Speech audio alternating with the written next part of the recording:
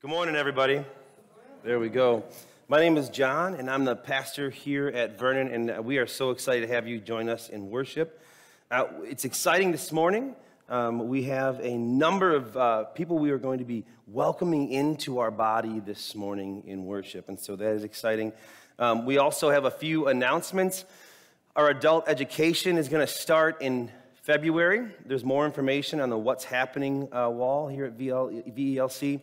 Uh, we do encourage you, there's a couple books that I recommend picking up. We're going to study the Gospel of John.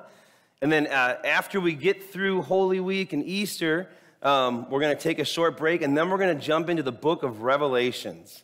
Who's excited about that? Right? Don't trust anybody who says they understand the book of Revelations. But we're going to we're to we're going to jump into that because we think the author of Revelations was Let's spend a few minutes and just talk about how much the name John means to us. but we're going to jump into that. Uh, there, there's so many things going on. We also, our grief share group will begin again in February. A schedule's not made for that. Uh, we're going to have our first meeting on a Monday, uh, the first Monday in February. And then after that, and we're actually going to put together a schedule. Yes, a schedule. So our grief share group a number of times this past uh, fall and winter, and uh, I can't speak for the group, but I know for me, as someone who continues to process grief, it was, it was extremely helpful and meaningful. So please, please, if you're interested, join us. These next few weekends, we got a lot going on. Um, are there any other announcements? I have two more I want to make. Any other announcements? Um, on Monday, you can go to the next slide, uh, Pat. On Monday, we celebrate uh, Dr. Martin Luther King. This is one of my favorite quotes Use me, God, show me how to take who I am, who I want to be and what I can do and use it for a purpose greater than myself. Um, we celebrate uh, a man who was uh, joined by other, many other men and women uh, and part of a movement that helped us to uh, break down some walls that have been separating people for a very long time. And so we celebrate him on Monday. And then also on Monday, this week is like our youth ministry uh, birthday week. So uh, on Monday, the one and only Ann Galinsky turns 22 years old. Where's Ann? Where's Ann hiding? Out there, yep. And then I believe it's Wednesday, but she won't tell me the actual day, and I'm fairly positive she ran off at this point. But Sherry Higgins, Sherry Higgins will be celebrating her 33rd birthday.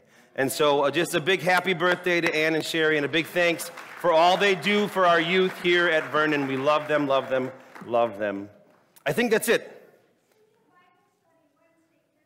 And our senior Bible study is this Wednesday at 10:30, and I'm not being goofy. Guess what book we're going to be studying?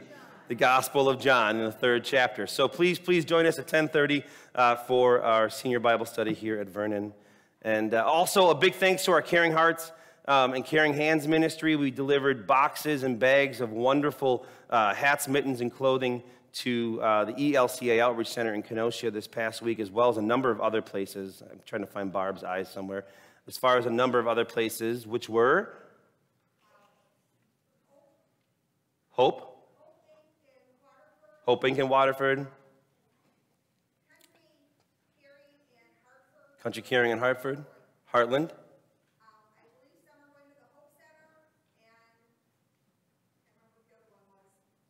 the Hope Center and another one. There's so many, and we give all sorts of thanks for that ministry. It's just awesome.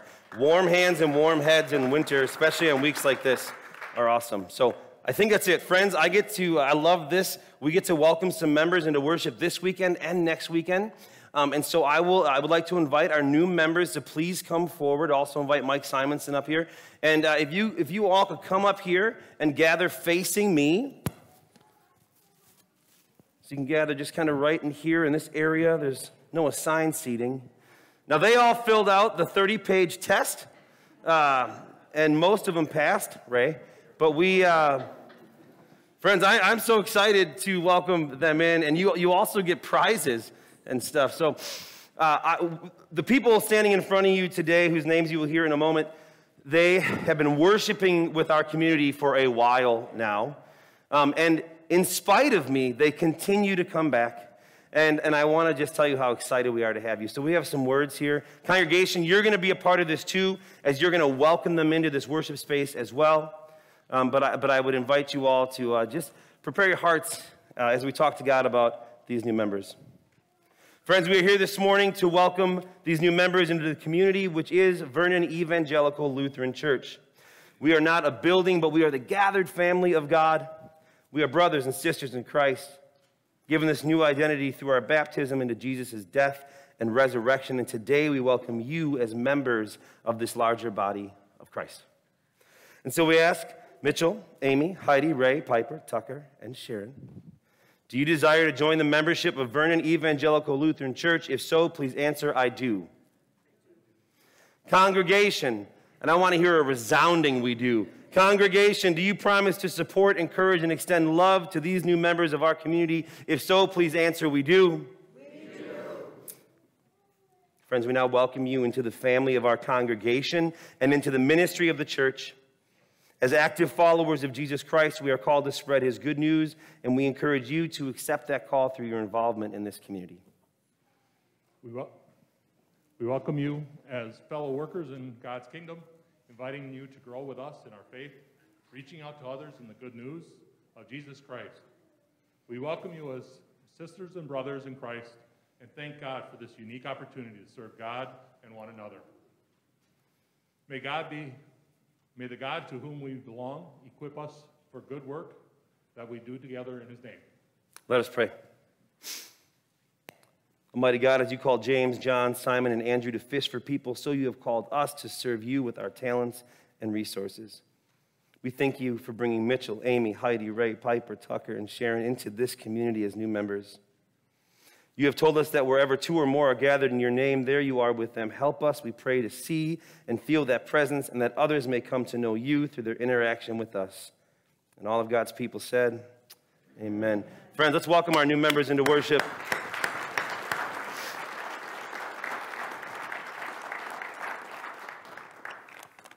You get things, you get things.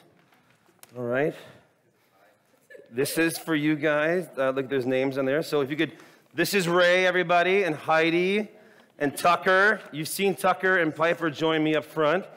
Piper and Tucker. This is Mitchell and Amy. And this is Sharon. Welcome them one more time, friends, into our community. Thank you, brother. Huh? Show them your faces, everybody. So please, please welcome them uh, this morning in worship when you get a chance. They've got some delicious baked goods. There we are. All right, everybody. Thank you, Mr. Mike. Let's just give them some walking off music. Now invite Miss Annette up for our prayer of the day.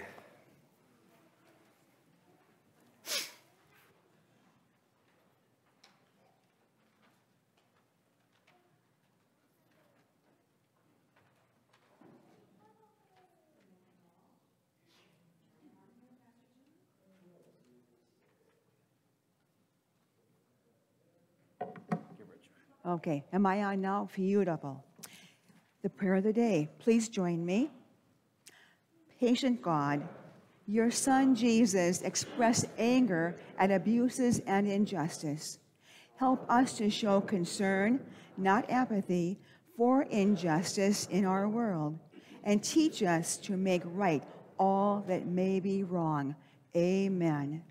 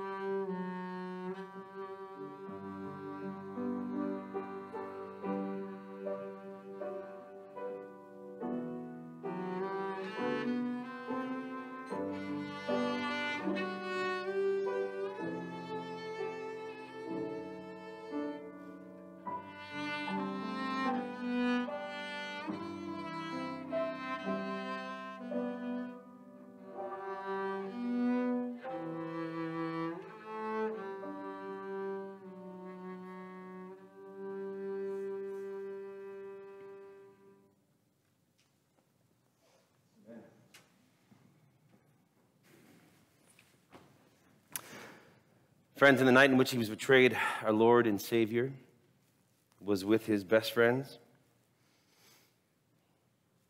sharing a meal.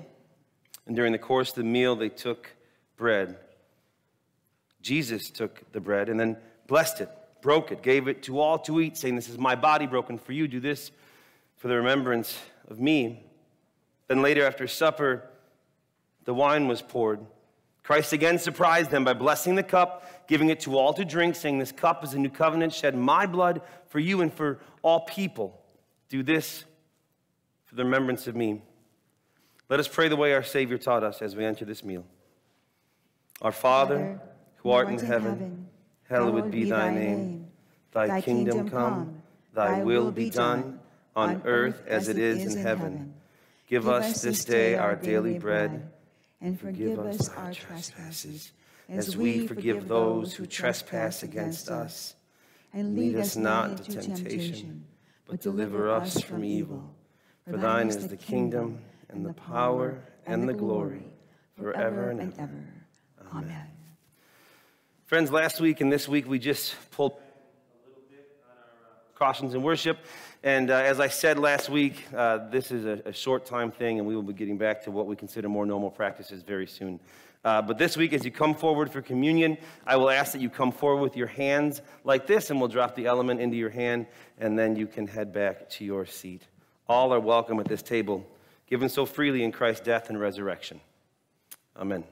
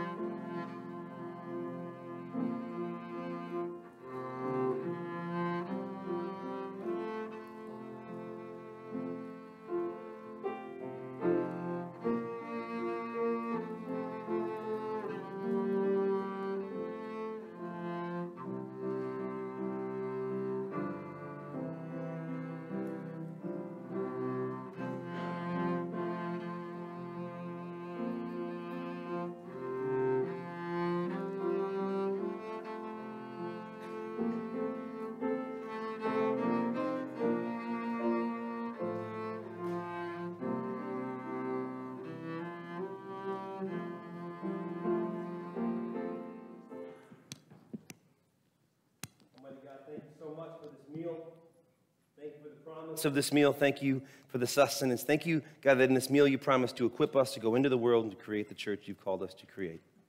It's in Christ's name we pray. Amen. Amen. The scripture reading is from John, second chapter, verses 13 through 25. The Passover of the Jews was near, and Jesus went up to Jerusalem. In the temple, he found people selling cattle, sheep, and doves, and the money changers seated at their tables. Making a whip of cords, he drove all of them out of the temple, both the sheep and the cattle. He also poured out the coins of the money changers and overturned their tables. And he told those who were selling the doves, Take these things out of here. Stop making my father's house a marketplace. His disciples remembered that it was written, Zeal for your house will consume me. Then the Jews, no, the Jews then said to him, What sign can you show us for doing this? Jesus answered them, Destroy this temple and in three days I will raise it up. The Jews then said, This temple has been under construction for 46 years, and you will raise it in three days? But he was speaking of the temple of his body. After he was raised from the dead, the disciples remembered that he had said this, and they believed the scripture and the word that Jesus had spoken. When he was in Jerusalem during the Passover festival, many believed in his name because they saw the signs that he was doing.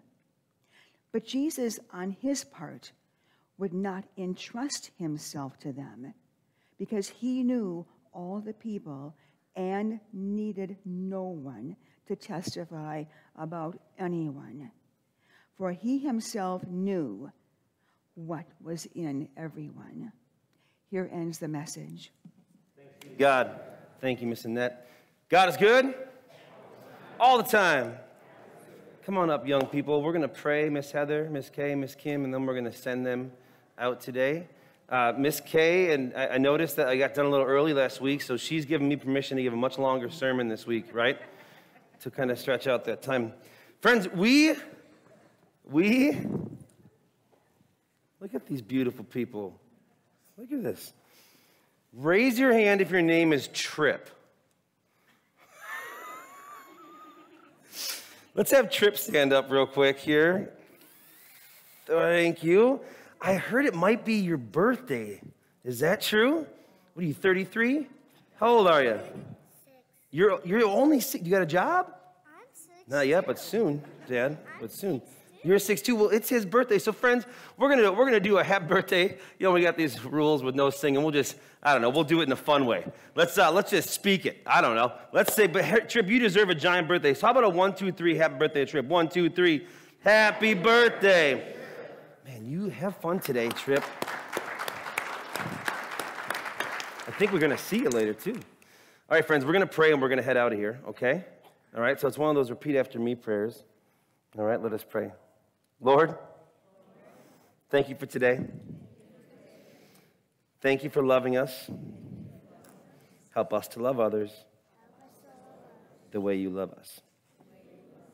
And thanks for Trip. He's awesome. Amen. All right, friends. God is good all the time. Great. We're going to walk towards Miss Heather there. We're going to walk. We're going to walk. We're going to walk or crawl, whichever one.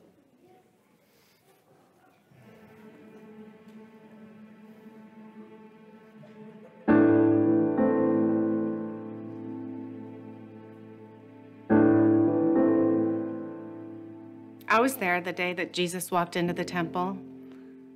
He just stood there at first, almost as in disbelief. And then I saw it. I saw fire growing in his eyes. I'd come from Galilee to the place where God said he'd meet us. Did it feel like a scam? Yeah. I was never able to afford a lamb for my sacrifice, so I had to settle for one of those overpriced pigeons. As a young wife and mother, there's a word you never expect to be called widow.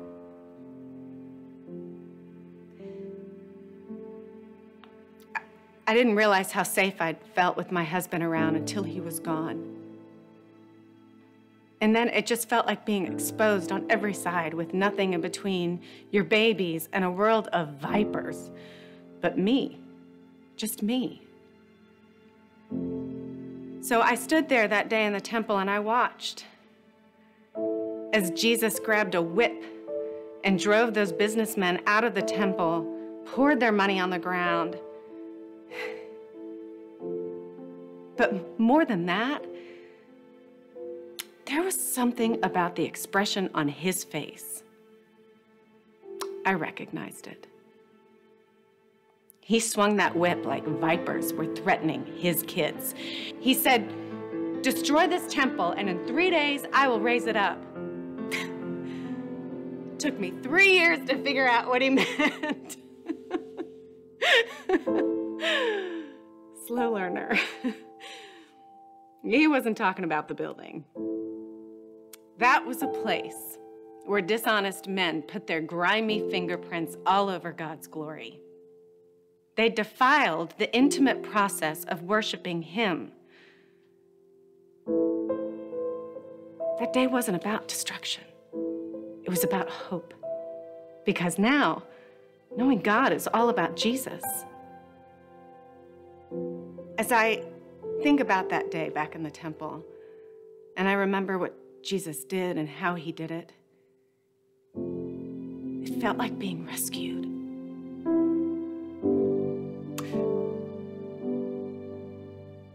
Life can still be brutal.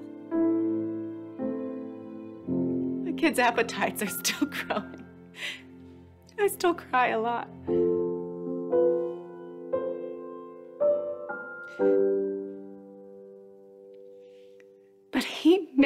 Place for me to be still, where rest and trust meet right there at God's feet. And the price of that access, it's paid because of Jesus. He conquered death, and that's how I make it through life.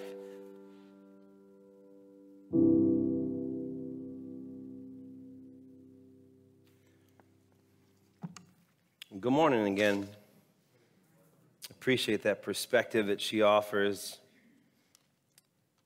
Could you imagine being a witness at that temple that morning? Hear these words again that Annette read for us. The Passover of the Jews was near, and Jesus went up to Jerusalem. If you ever wonder, by the way, in scriptures, how we kind of assume that we, we talk a lot, maybe you haven't heard this before, we think that Jesus might have been in his 30s. Scripture gives us all these different clues as to what his age might have been. And Scripture also gives us clues about how long he ministered with his disciples. If you read uh, the Gospel of John like we're doing, it, it'll feel maybe like a year of his life. But the reality is, because of the amount of times he went to Jerusalem for the Passover, this is early, right? He would be at the Passover again in John, and then later at the end as he shares the Passover meal with the disciples. So there were different times that he had gone up to Jerusalem. That's how we mark the dates and times that Jesus would have spent with his disciples. But the Passover of the Jews was near, early in the Gospel of John. And Jesus goes up to Jerusalem and he goes to the temple and he found people selling cattle, sheep, and doves, and the money changers seated at their tables, making a whip of cords. He drove them all out of the temple, both the sheep and the cattle. He also poured out the coins of the money changers and he overturned their tables. He told those who were selling the doves, Take these things out of here. Stop making my father's house a marketplace. His disciples remembered what was written Zeal for your house will consume me. The Jews said to him, What sign can you show us for doing this? And Jesus answered them, Destroy this temple, and in three days, in three days I will raise it up. The Jews then said, This temple has been under construction for 46 years, and you will raise it back up in three days? But he was speaking of the temple of his body. After he was raised from the dead, his disciples remembered that he had said this, and they believed the scripture and the word that Jesus had spoken. Pastor Ben Johnson Tracy tells a story about how one day uh, he was rummaging around in his house and he found this drawer that he'd never uh, looked in before. He opened it and he found that it contained five eggs and an envelope with $1,000 in it. And so he went to his wife and he said, Honey, do, do you know anything about this drawer? And she told him that every time he gave a bad sermon, she puts an egg in that drawer. And he said to her, Wow, after all these years in ministry, only five eggs. Not bad at all. What about the thousand dollars? She said, Well, every time I get to a dozen eggs, I sell them. Isn't that good? I like that. Jesus had some incredible sermons. If you are a devout churchgoer or if you're somebody who pops by for Christmas and Easter, no judgment. But if you, if you are around just even a little bit, you know some of these sermons. I think you do. You know so the, there's a Sermon on the Mount. Blessed are the meek, for they will inherit the earth. The Sermon on the Plain, do, do not judge, and you will not be judged. Some of these great lines from Jesus. His Sermon by the Sea, where he spoke about the kingdom of God being here and now, not some far off thing, but something offered to us here, physically, now. Lots of sermons. You couldn't blame people if they thought that Jesus was saving a really, really, really good sermon for his entrance into the temple. Could you imagine, right? Like Jesus is out there, uh, kind of like a country preacher, but then he walks into the cathedral. Like, what's he going to say? And here's what he does making a whip of cords. He drove all of them out of the temple, both the sheep and the cattle. He also poured out the coins. He told those who were selling doves, Take these things out of here. Stop making my father's house a marketplace. That's not a sermon that I would necessarily feel comfortable preaching, and it does not sound like a Jesus sermon. Though I do wonder if Jesus was here today, if he was going to preach today, what would he have to say to us? Most of us in our minds, I think, like to make Jesus out to be this peacemaker, which he was, the gentle teacher who loved and forgave, which he does over and over and over again, or this great prophet who shared good news and welcomed the children. All of these things Jesus was. It's important to have a little bit of context. It's important to know what's going on in the temple. Last Lent, uh, we went through the story, uh, the, the series with Adam Hamilton, and we got to see different places in Israel or in, in that area, in that region where Jesus ministered to, and you got to see the ruins of some of these places. The temple, which was originally Solomon's temple, began by his father David, completed by Solomon. This massive temple was eventually destroyed by the Babylonians. Fast forward many, many, many, many years, and Herod the Great, as he was known, not the Herod in Scripture, but another Herod before him, was building a temple for how many years? 46 years. And, and it, for the most part, it had been completed. But there were things going on in the temple that were confusing. Some of them had to do with law found in the book of Deuteronomy about what the, the, the, appropriate, proper sacrifices to bring into a sanctuary. But, but the church had taken it a step further. So let's shoot back a couple thousand years. Let's say, as that widow was talking about, or, or, perhaps you are with a spouse and you travel to Jerusalem during the Passover, and with you, you bought some sort of sacrifice to God, the appropriate sacrifice, and they knew where to go. They would go in the Hebrew scriptures, and in Deuteronomy, it actually says, like, which animals are appropriate sacrifices. So they know this. They go there. And in many, many cases, you, would bring perhaps a ram or, or, or two turtle doves to offer in the temple. But the problem is when you arrived at the temple, guess what had begun happening? This had been happening for a while. A priest would meet you at the door to inspect your sacrifice. And in many, many cases, the animals were rejected. Maybe the priest claimed that they were too old, or they weren't the right size, or they had spots or blemishes. But don't worry, the priest says, we happen to have our very own hand picked sacrifices here for you to buy today. One time only. Never mind that the markup on rams and turtle doves or whatever it might have been for the Salem temple was extremely significant. So you had two choices. You could leave, probably acknowledging the injustice of what's taking place, or, or pay to upgrade your offerings. So you get out your money, but, and you buy your replacement ram or turtle dove, but then you realize, oh, the coinage I have is the coin of the time. It's the coin of Rome. But Rome's coin is not welcome in the temple. So then you have to go over, hold on, before you get the animal, come over to these tables. You got to change your money. We'll take the Roman coin from you. Here's some money that can only be used in the temple. Use that then to go purchase. You see how this works? I mean, as church fundraisers go, this is a pretty lucrative scheme. Listen, Make people bring animals to sacrifice at the temple, tell them their animals aren't good enough, charge them for new ones, refuse to accept the money they brought with them, instead say, Give us your money, we'll give you different money, funny money that you can only use here. Then take those temple coins when they buy the animals that you are forcing them to buy and put them right back in the coffers. Jesus shows up to this disgusting display. And I, I, I like to believe, as God, Jesus knew what he was walking into. And then his humanity is on display. He, he by all accounts, loses it. He, he appears to become unhinged or unmanageable. He grabs a cord, he makes himself a big old whip, and he starts whipping it at people and animals, driving them out of the temple. He flips over these tables, and I want you to really think about it. I mean, he's knocking over these tables, coins are scattering. What's fascinating in Scripture, and if you've ever watched like, the Gospel of John or, or some different uh, biblical narratives that have been put to, to, to cinema, uh, you'll see the, the crowds run away. Could you imagine? I feel like even in this place, in this place, if I started doing something crazy like that, like Ben would come up at least and be like, hey, man, you good?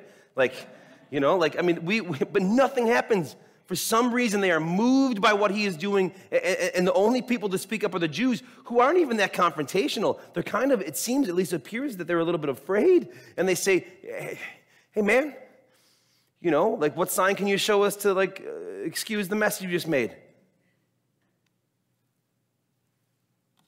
What would it be like if Jesus was alive today and walked our streets, if he had chosen this time and this place to appear, to enter in to create his ministry in this world? Where would he go? Like, where would he go?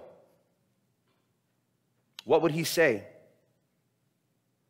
I think we catch ourselves, uh, I do at least, time from time to time, assuming that Jesus would fit in, or at least look and sound and act and smell like the Jesus in my mind, that he'd be likable, he'd be the approachable teacher who commanded the world's attention and easily turned our love, respect, and admiration, uh, admiration towards him. I, I want to believe that's true. I think the truth is, though, if we look at Scripture, things being the way they are, humans being human, we have, we have other labels for Jesus. There's a reason we call God's love radical. It's because it doesn't make a lot of sense. Forgive your enemy? How many times, says Peter? Seven? Seven times 70, says Jesus. The truth is, however, however we want Jesus to look, however we want Jesus to sound, the reality is Jesus came into the world that he came into, and he was an agitator. He was a radical, he was a malcontent, and depending on whose perspective you had, he was a troublemaker, right? Jesus was flipping over tables driving people out of the temple, his father's house. Every right to be angry. People like Jesus make headlines for disturbing the peace. Talked about on Monday, we celebrate MLK and Martin Luther King Jr. Has anybody ever read a letter from a Birmingham jail? You should read it. Have you at least heard of it? Everyone's kind of heard of it. Martin Luther King wrote this. Uh, he had been arrested for protest. But he, he wrote it not to like the greater world. He wrote it to, to white church leaders who had written him a letter and had asked him, these are southern white church leaders, who had asked him to be a little quieter. This, this is, this is real. This is, he was responding to them. And if you read it, it was a beautiful, it's a beautiful letter. I mean, it's, it's full of conviction and it's heartfelt, and he doesn't, he doesn't throw you know, punches at these leaders. But he just says, I follow a Savior who spoke into uh, unjust systems and made lots of noise about them, so much so that I got him killed. It was written to people who just wanted the peace for peace's sake. Author and teacher Barbara Brown Taylor, who I've quoted before from here, she's an Episcopal priestess, but she's just a, fantastic writer. Um, she was ret- uh, attending a retreat once, and the leader of the retreat asked the gathered people, Who who in your life, or who have you observed in your life that, that most represented Jesus Christ to you? That was like the embodiment of Jesus for you. And, and when it came time to share their answers, she said she'll never forget one woman stood up and said this. Oh, I had to think really hard about that one. She said, because I kept asking myself over and over again, who is it in my life who told me the truth about myself so clearly that I wanted to kill them for it? Jesus came into the world and spoke to the leaders, spoke to the authority, spoke to the governor of that region, spoke to all the people in power, spoke to the king, spoke to them, and, and condemned them, not, not in a way that gave them no chance for redemption, but instead loved them and argued against their domination, argued against their hate, argued against their violence, and offered something else, argued against the corruption in the temple You know, we forget this about Jesus. Jesus, if you look through scriptures, which is where you should go to learn about Jesus, when you look through scriptures, Jesus didn't really care that much about whether or not people liked him. Even at the end of Annette's reading today, right? Where, where he, you know, he revealed himself to so many and not to others because he knew everyone's heart. And they would in time know the fulfillment of what he had come to do. He, he wasn't so much worried about you liking him. He often preached at his own expense, right? I mean, he said things to people all, throughout the scriptures. We're going to read it in the Gospel of John. A, a scene will end, and the religious leaders will say, and they conspired to kill him because he gave a sermon. I hope I've never preached a sermon that one, but this was happening. The company he kept, tax collectors, prostitutes, people who worked on the Sabbath, Samaritans, all of these people that the, the, the, leaders of that time, especially the religious leaders of that time, said you don't associate with them. They're not welcome in the temple. They're not worthy of your time or your love. And Jesus flips it all upside down. He was a disturber of the peace. Remember when I was in Kenosha, I'd heard the story about a family, and the kids in this family walked home from school every single day. Not because school was close by, not because they wanted to, but because apparently mom drank all day long. And by the afternoon, she was in no condition to drive, so they walked home, and no one, including their dad, said a thing because it was best not to disturb the peace. But that wasn't peace. It was fear, it was shame induced silence, and it begged for disturbance, and it eventually, it eventually needed it to, to right some wrongs. You see, in that relationship you have with the other person who disappoints you again and again and again, and so gradually over time you ratchet down your expectations. Have you ever been there? You know they're going to let you down, so you just lower the bar a little bit. And you get to this point where you have sacrificed everything just for the, the peace that you so desperately were clinging to. But that's not peace.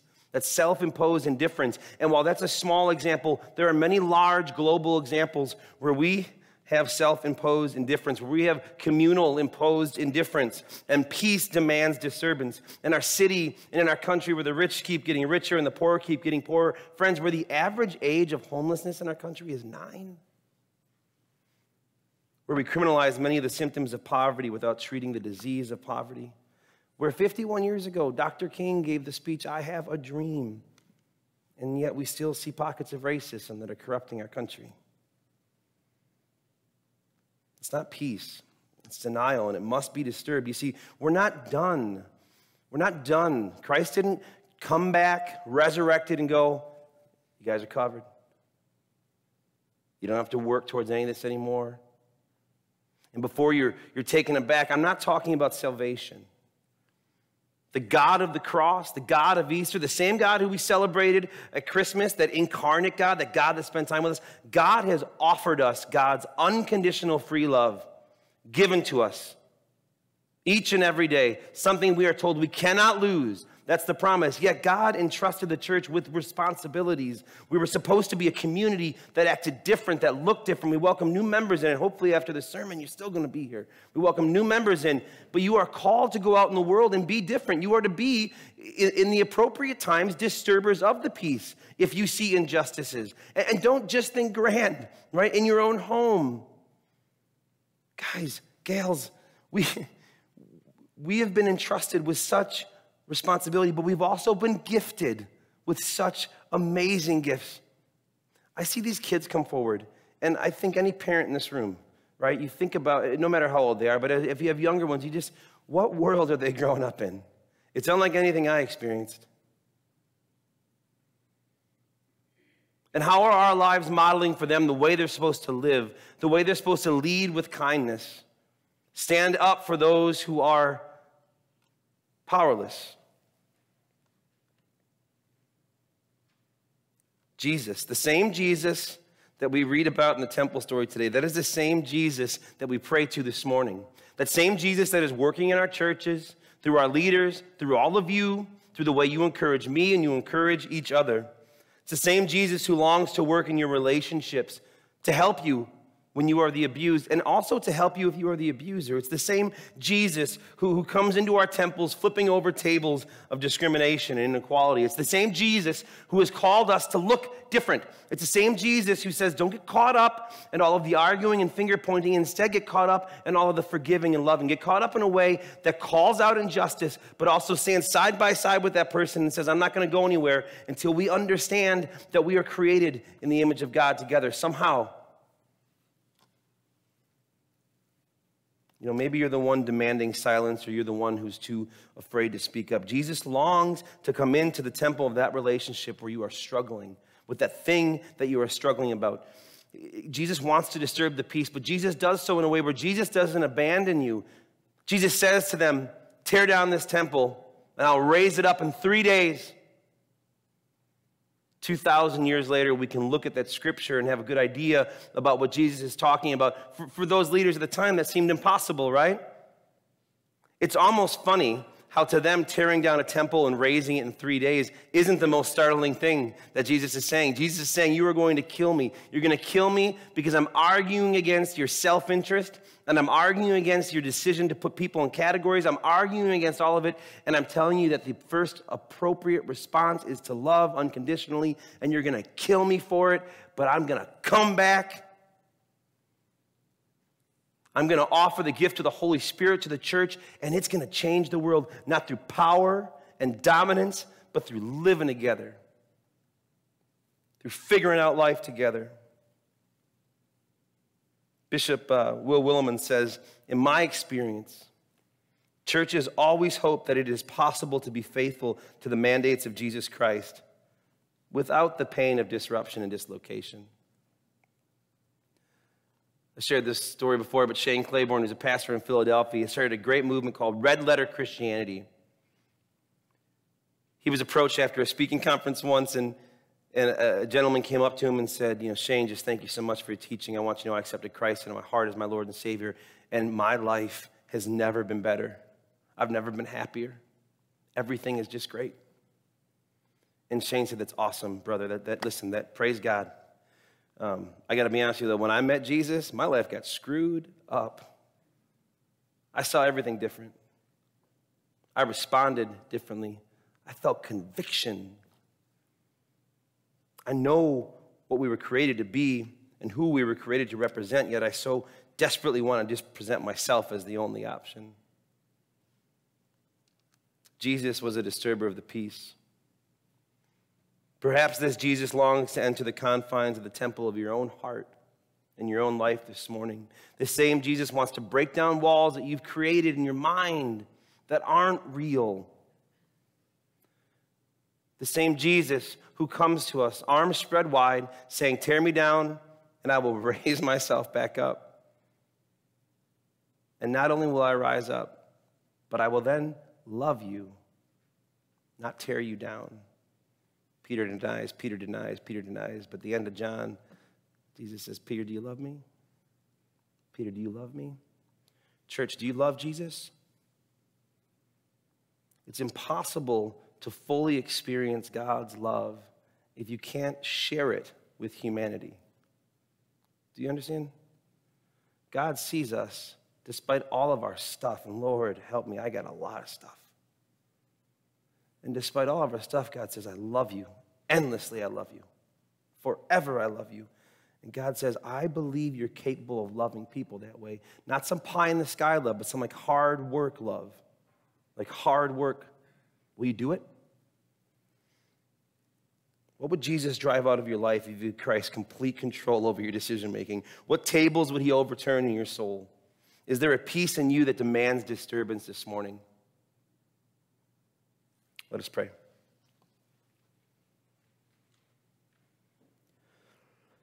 Almighty God, Holy Christ, enter, enter our lives and drive out our attachments, and with them storms of anxiety and mistrust. Lord, upend the tables of our privilege and pride. Let the things that keep us from you go crashing to the floor. God, I ask this morning and every morning that you would reclaim your place in our lives as we reclaim ourselves in God's image. Help us to be the church that you have called us to be. Help us to be the church that goes into the world and fulfills the mission that you gave to us, that we would create the kingdom of heaven here and now. It's in Christ's name we pray. Amen.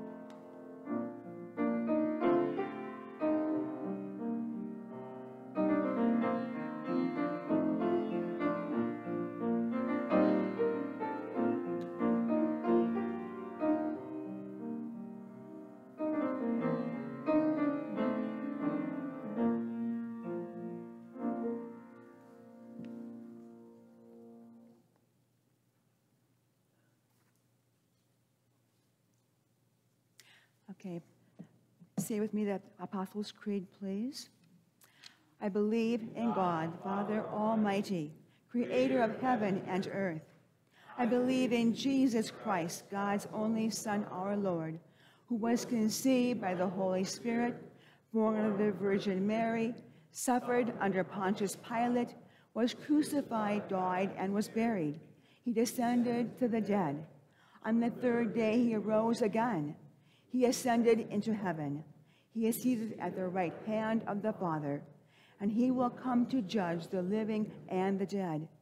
I believe in the Holy Spirit, the Holy Catholic Church, communion of saints, the forgiveness of sins, the resurrection of the body, and the life everlasting. Amen. Let's enter into a time of prayer for our church, our community, and the whole world. Let us pray. God, we thank you that you so long ago disturbed what some considered peace in the temple, that you argued for holy places, that you took away the barriers, those things that the church or the world had said for so many years separated us from God, and you came to be with us physically, God. Help us to love you and worship you as the Savior who became one of us, who died for us, who rose for us, who lived for us, and help us to live for you, Lord, in your mercy. God, we give you thanks for all of those great prophets who have gone before us, those priests and priestesses who spoke into injustice, who spoke out against inequality, who argued against a church that was complicit with these things for so many, many years. We thank you for the life of Dr. Martin Luther King Jr. and so many others, God, who paved the way for conversations, for walls to be broken down, for barriers to be removed. And we pray for the ongoing work, Lord. Lord, in your mercy. God, we know there are people in this room who are suffering today, Lord people in our community who are suffering, people in this world who are suffering in mind, in body, and in spirit, God.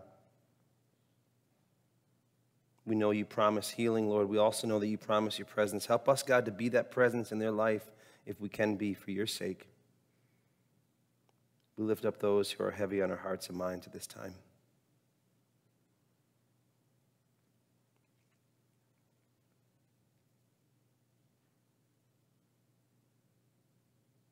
Lord, in your mercy.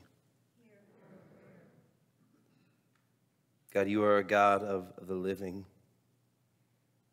We thank you for the lives of those who have gone before us, those saints of the church who have paved the way and taught us so much.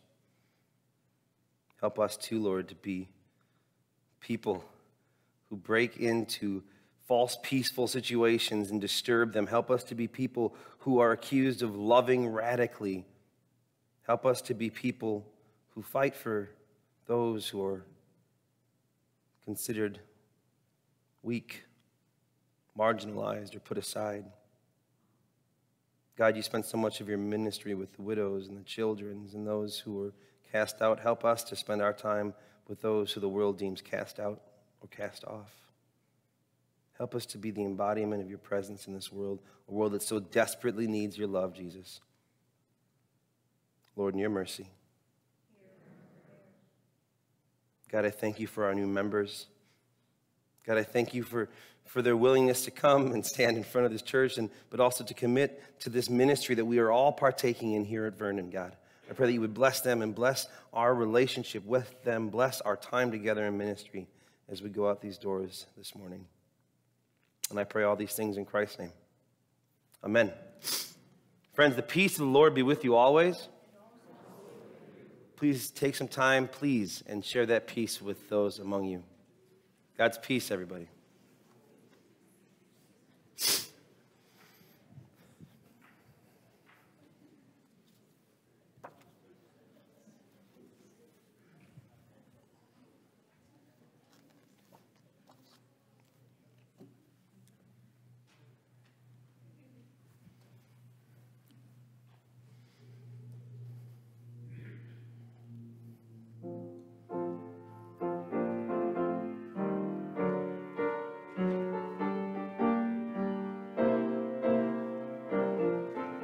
Peace, Allison.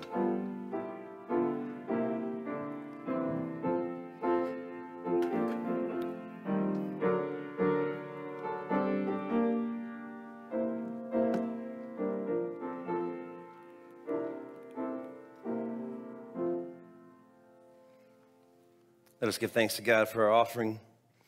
Lord, we thank you for the gifts of this church, Lord, the many gifts of this church that work in this physical space that go out into the community. We also thank you for the gifts that are given to this church, Lord, to help us to sustain the ministry of Vernon.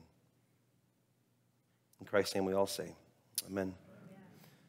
Friends, please uh, take a look at the What's Happening wall here at VLC. Remember, we have our uh, seniors Bible study at 1030. And um, uh, can we wave to our friends at home? We didn't wave this morning.